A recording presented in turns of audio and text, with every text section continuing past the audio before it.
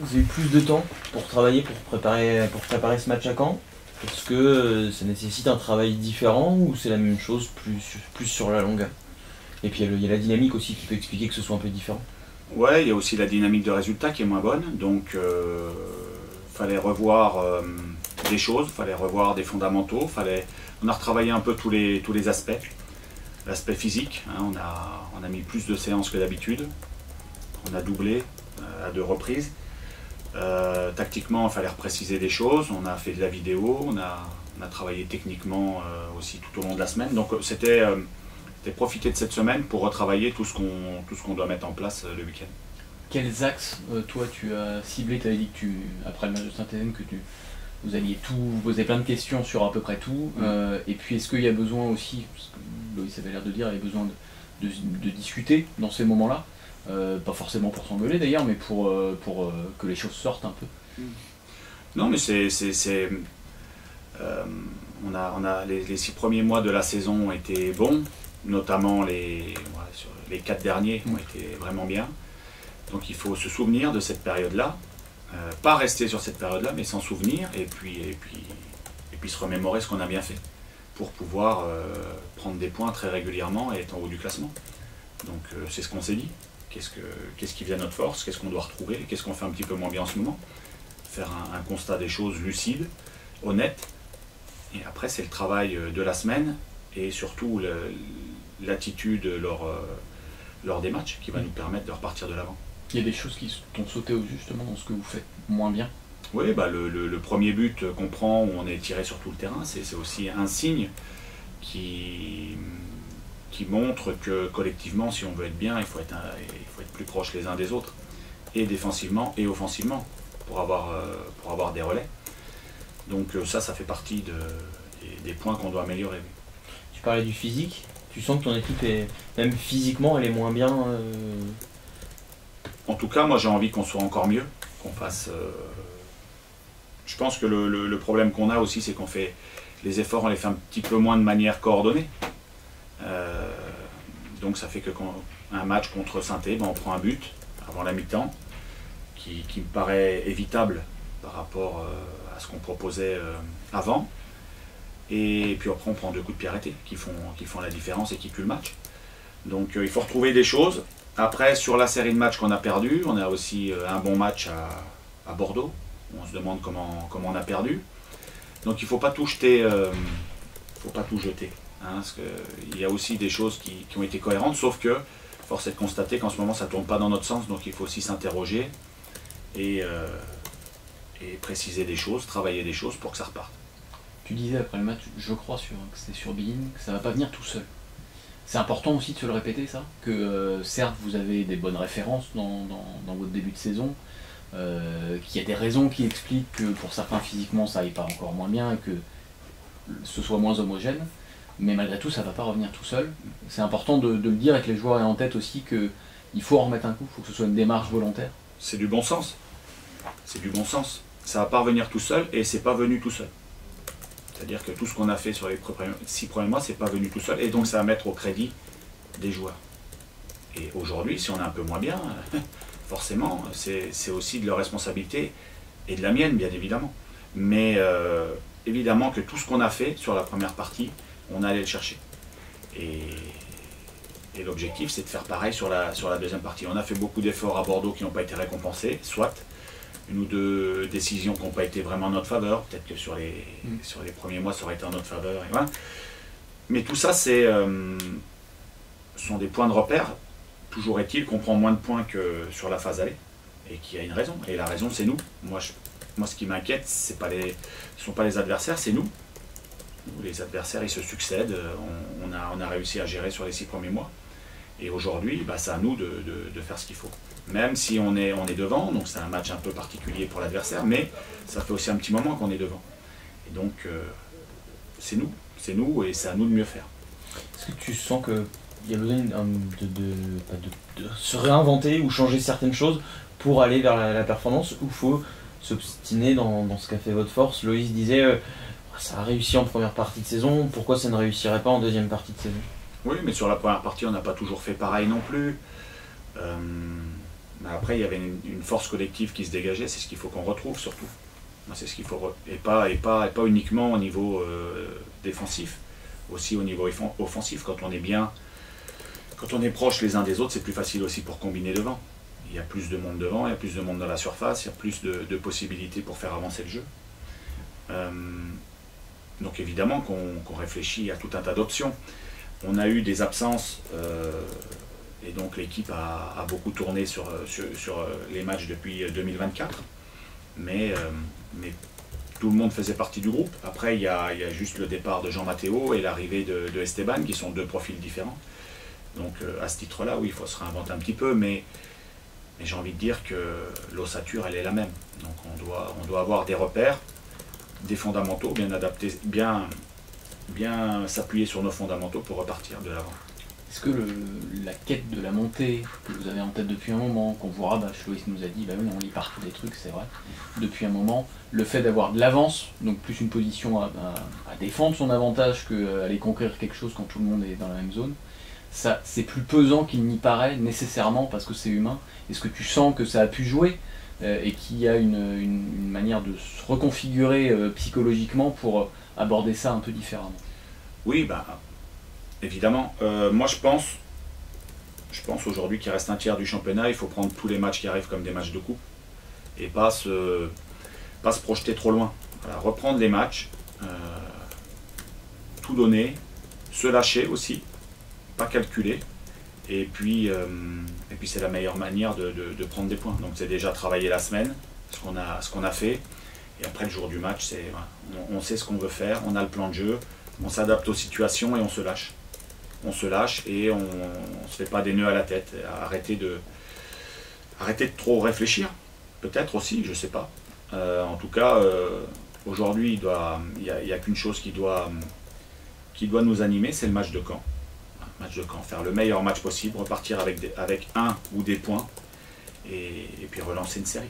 C'est ça, c'est uniquement ça et pas se projeter, pas se projeter trop loin. il faut presque plus parler de montée et seulement s'intéresser au, au, match, au match suivant. Quoi. Je pense que c'est la meilleure manière de, ça ne veut pas dire qu'on joue plus la montée, ça veut dire que le plus important aujourd'hui est ce qu'on a, euh, qu'on a entre les mains, euh, sur quoi on a... Euh, on a possibilité de faire des choses, c'est le match qui arrive. On ne va pas jouer le 13e avant le, premier. Il y a un premier, un deuxième, un troisième. Et c'est se, focaliser sur le match qui arrive, et ça c'est important. Se focaliser sur le match qui arrive. Euh, face à une bonne équipe de Caen, à domicile qui est performante. Mais il n'y a que le match de Caen qui doit nous, animer aujourd'hui, même si évidemment on connaît l'objectif. Mais, mais je pense que oui, revenir euh, à se mobiliser euh, match après match, c'est la bonne formule ça montre aussi euh, sans doute que euh, c'est long une saison de Ligue 2. Ça demande de l'endurance euh, physique, mais mentale aussi, qu'en fonction des situations, des semaines, bah voilà, il y a des variations. Et que bah, finalement, ce que vous traversez, c'est peut-être pas totalement illogique, même s'il y a un effet de contraste important par rapport à votre phase allée, où c'était ça en fait. Ça faisait qu'une pente ascendante, et que là, bah, c'est moins net. Euh, mais peut-être que c'est normal dans une saison de traverser ça. Ce qui ne veut pas dire qu'il ne faut pas lutter contre, évidemment. Oui, c'est normal, c'est normal et ça s'explique. On a perdu, euh, on a perdu Yaya pendant euh, une bonne période. Même si Mel a fait, a fait, un très bon intérim, mais Yaya a été l'un des joueurs les plus décisifs pour nous sur la, sur la phase allée. On a perdu Loïs aussi pendant quasiment un mois. C'était notre joueur aussi décisif devant. On a perdu Jean Matteo qui était à 5 buts, donc il faut se réinventer aussi un peu. Mais, mais moi je crois en ce groupe. Je l'ai toujours dit, je crois en ce groupe. Et, c'est bien de le, redire quand on a un petit peu moins de résultats. Et pour repartir de l'avant, évidemment qu'il va falloir aller le chercher. Ça ne viendra pas tout seul, ça on, se répète. Mais je pense qu'on a, euh, a les moyens de le faire. Les remplaçants ont mis beaucoup de buts sur le, la partie saison jusqu'au match euh, de Caen euh, fin novembre.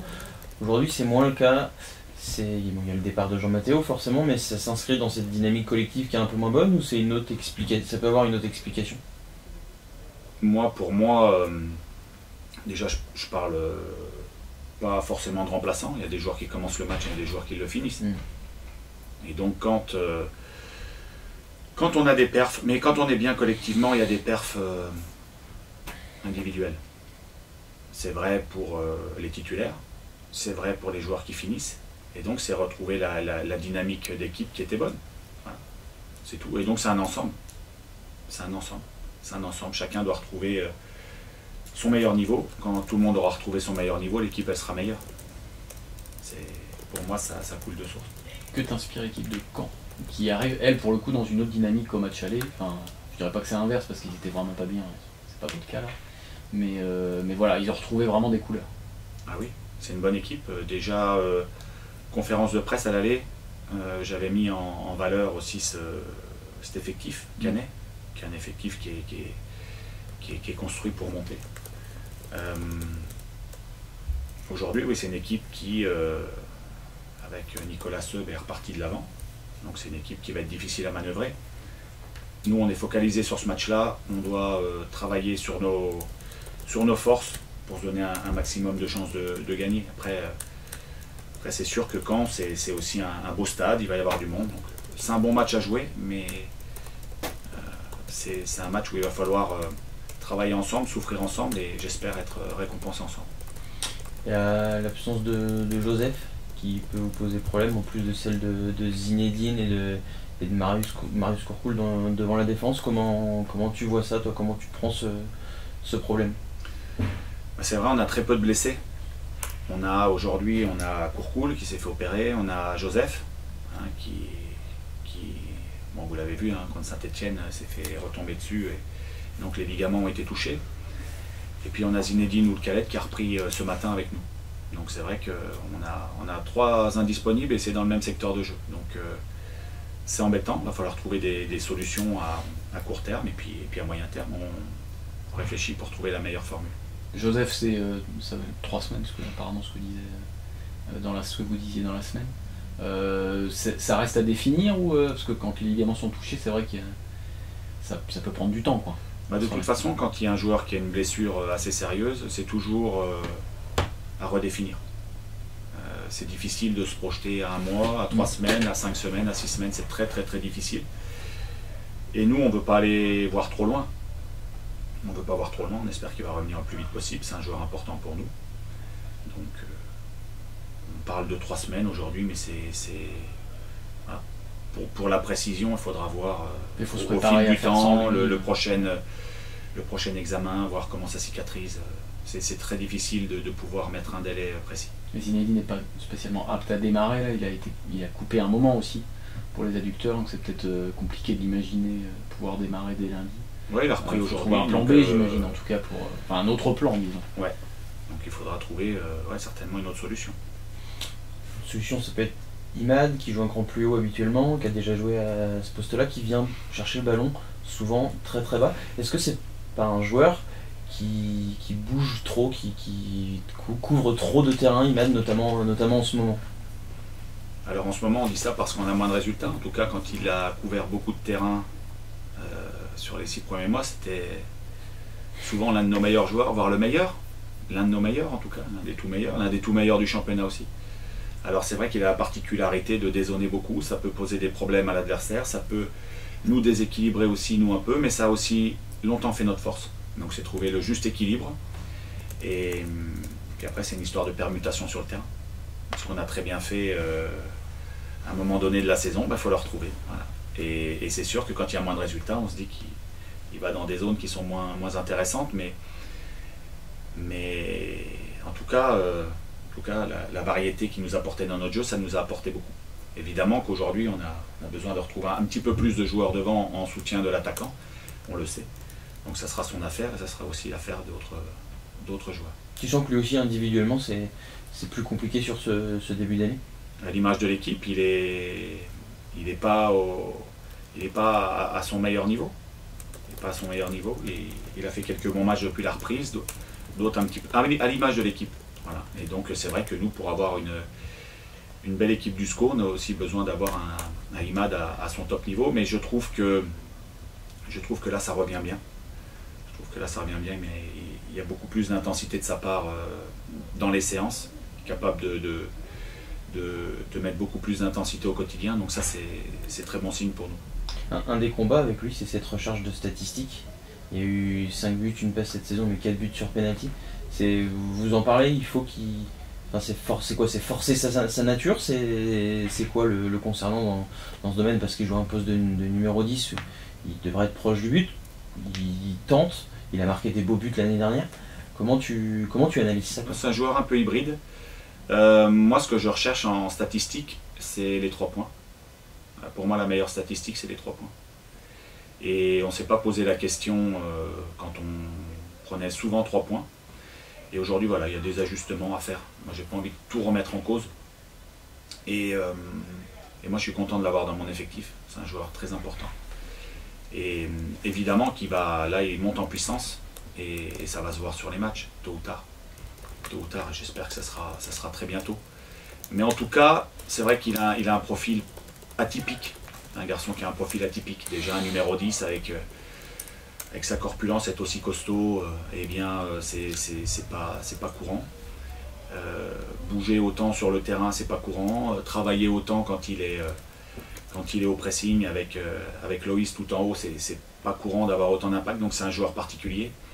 Et donc aussi, il faut jouer avec, avec, euh, avec ses caractéristiques.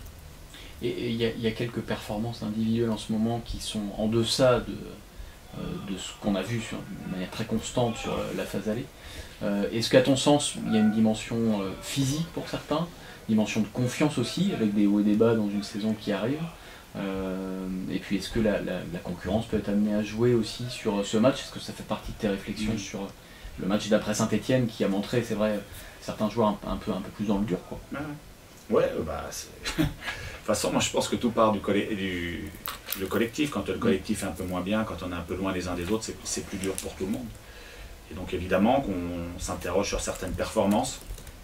On n'oublie pas tout ce qui s'est passé sur les, sur les six premiers mois. Après, on ne peut pas non plus s'arrêter que sur les six premiers mois. Donc c'est un ensemble de choses sur la, la réflexion. Mais c'est vrai qu'on on, est amené à réfléchir sur des sur, sur, sur, certains postes, oui, c'est sûr.